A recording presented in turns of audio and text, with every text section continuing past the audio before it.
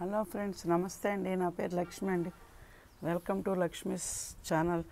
ఈరోజు మీకు బెండకాయ విత్తనాలు ఎలా నాటుకోవాలి దాని పాట్ మిక్సింగ్ ఎలా చేసుకోవాలి వాటరింగ్ ఎలా ఇవ్వాలి అవి మొక్క విత్తనాలు నాటుకున్న ఎన్ని రోజులకి మొక్కలు మొలుస్తాయి మీతో షేర్ చేసుకుంటాను. ముందుగా బెండకాయ విత్తనాలు చూడండి. ఇట్లా ఉంటాయి బెండకాయ విత్తనాలు.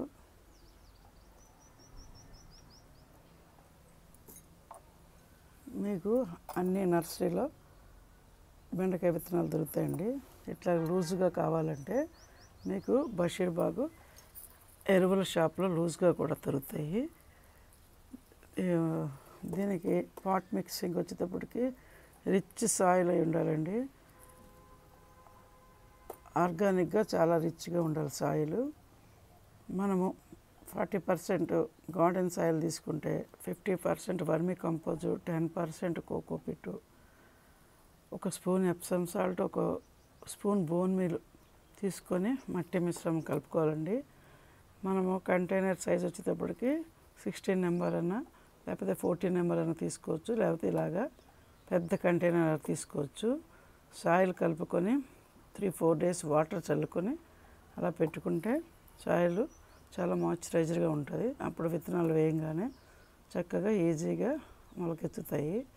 ఈ విత్తనాలు ఎలా నాటుకోవాలంటే ఎవ్రీ టూ టూ ఇంచెస్కి ఇలాగ మనం హోల్స్ పెట్టుకొని విత్తనాల్ని నాటుకోవాలి. ఒక్కొక్క దాంట్లో రెండు రెండు విత్తనాలు వేసుకోవాలి. ఎందుకంటే ఒకటి జెర్మినేట్ అయినా ఇంకోటి అవ్వకపోయినా దానికోసమని రెండు రెండు విత్తనాలు వేసుకోవాలి. ఒకవేళ రెండు జెర్మినేట్ అయినా మనము బలంగా ఉన్న మొక్కని ఉంచేసి వీక్గా ఉన్న మొక్కని పీకేయాలి. వీటిని డైరెక్ట్ డైరెక్ట్గా చిక్కుడు విత్తనాలలాగా నాటుకోవచ్చు. దీన్ని మళ్ళా మొక్క పెరిగినాక ట్రాన్స్ప్లాంట్ చేసుకోక్కర్లేదు.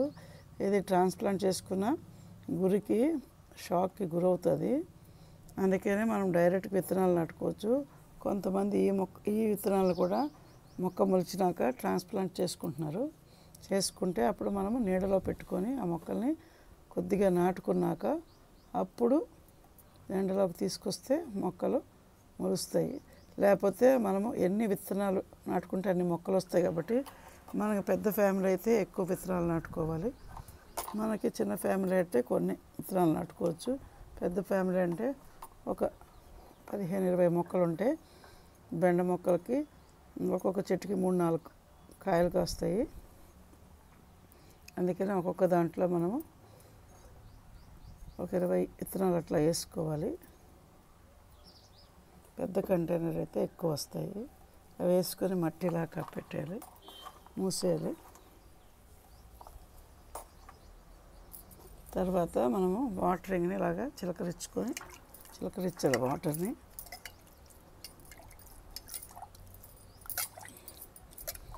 మనం ట్యూబ్తో వాటర్ పోసేయకూడదు. విత్తనం లోతుకి వెళ్ళిపోతాయి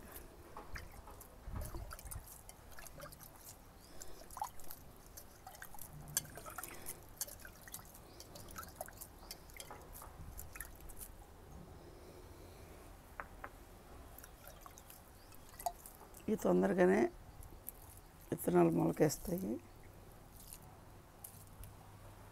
విత్తనాలు నాటిన ఐదారు రోజులకి ఈ మొక్కలు జర్మినేట్ అవుతాయి.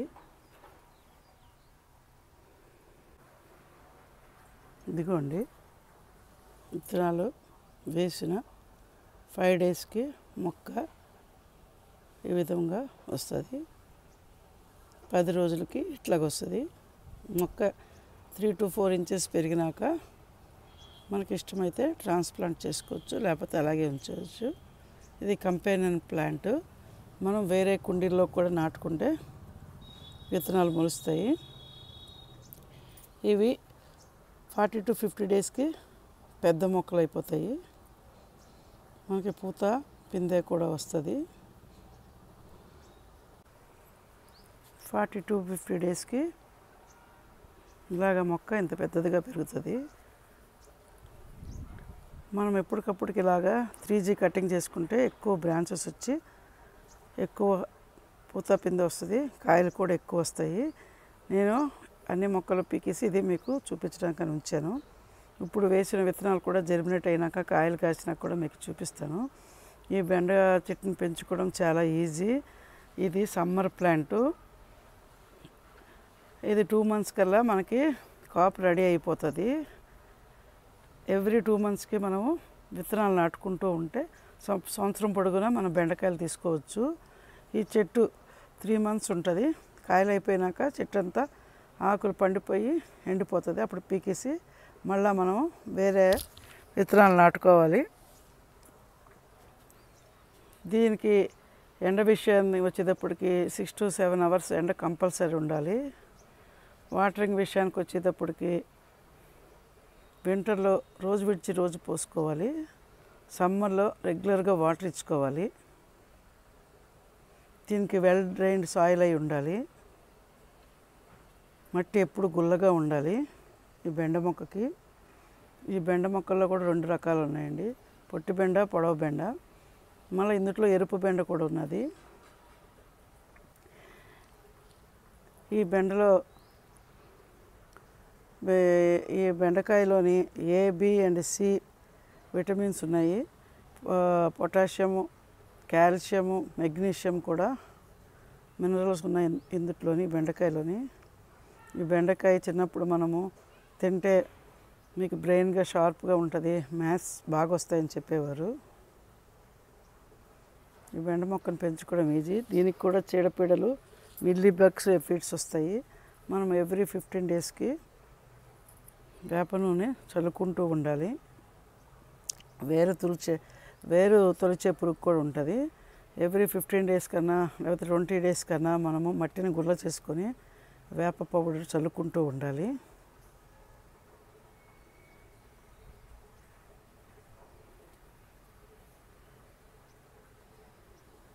ఈ బెండ విత్తనాలు కూడా దేశీ విత్తనాలు హైబ్రిడ్ విత్తనాలు ఉంటారు ఉంటాయి. ఈ బెండకాయని ఓక్రా లేడీ ఫింగర్ హిందీలో బింది అంటారు. ఇదండి ఈరోజు బెండ మొక్క గురించి మనం తెలుసుకున్నాము. మీకు వీడియో నచ్చినట్లయితే లైక్ చేయండి షేర్ చేయండి సబ్స్క్రైబ్ చేయండి. Thank you for watching. నమస్తే.